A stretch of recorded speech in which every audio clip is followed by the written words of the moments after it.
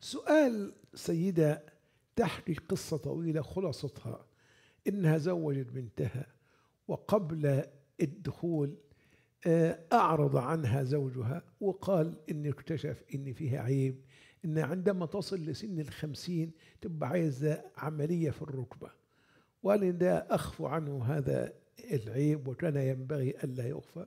والمرأة تقول بشهادة شهود إنها أعلمته بالتفاصيل كاملة وعندها شيء البنت وقعت وهي طفلة صغيرة ثم عولجت ثم قرر الأطباء مجتمعين أن حالتها لا تؤثر على زواجها لا حملا ولا إنجابا ولا قياما بالعلاقة الزوجية ولا كذا ولا كذا. لكن الزوج عندما سمع بهذا أدبر وأعرض والمهم أنه هو يريد أن يتخذ من هذا تكأة لإسقاط حقوقها المالية. دول غشوني وخدعوني وأنا أفسخ الزواج وأخذ فلوسي وبل أسترجع منهم ما دفعته لهم من مهر. فالسيدة تقول أفتونا مأجورين. الجواب عن هذا يا رعاك الله أولا هذه خصومة تحتاج إلى سماع من أطرافها. الله أعلم لقد سمعنا قصتك. ما هي قصة الزوج؟ ما هي روايته؟ ما هي حكايته؟ وكل قضية فيها طرفان ولها جانبان ولا ينبغي أن يقضى بين طرفين حتى يسمع من كليهما. هذا عدل الله عز وجل.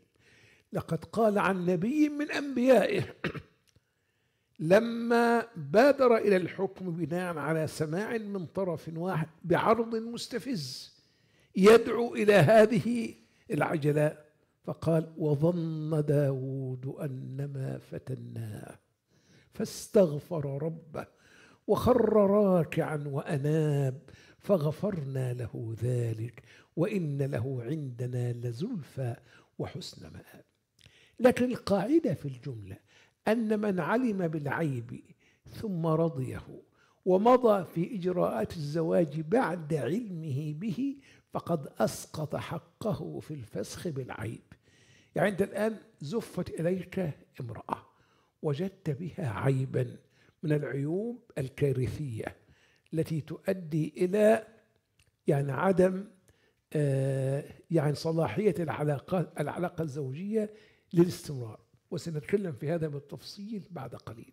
إذا رضيت بالعيب بعد علمك به أسقطت حقك في الفسخ. وعايز تطلق بعد هذا طلق. وخذ الإجراءات العادية للطلاق بكل تبعاته من حقوق مالية تترتب عليه ونحوه. فإذا أسقطت حقك في الفسخ بالعيب بالرضا به بعد أن علمت به فليس أمامك إن شئت المفارقة إلا الطلاق بكل تبعاته الشرعية. إن كان الطلاق قبل الدخول والخلوة الصحيحة لها نصف المهر المسمى. وإن طلقتموهن من قبل أن تمسوهن وقد فرضتم لهن فريضة فنصف ما فرضتم إلا أن يعفون أو يعفو الذي بيده عقدة النكاح وأن تعفوا. أقرب للتقوى ولا تنسوا الفضل بينكم. وإن كان بعد الدخول أو الخلوة أو الخلوة الصحيحة فلها مهرها كاملا.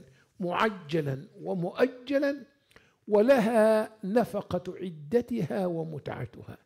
لكن بين قوسين علما أن ما ذكر ليس من العيوب الجسيمة التي تسوغ فسخ النكاح وإسقاط الحقوق المترتبة على الفرقة بين الزوجين.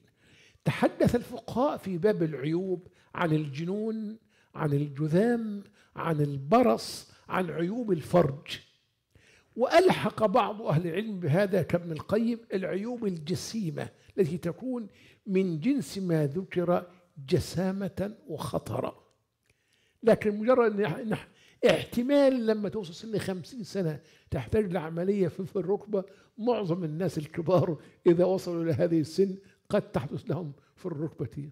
شيء من الخشونة ويحتاجون فمثل هذا لا يسوغ أن نقيم به الدنيا. ولا نقعدها ويكون مسوغا للفسخ وإسقاط الحقوق.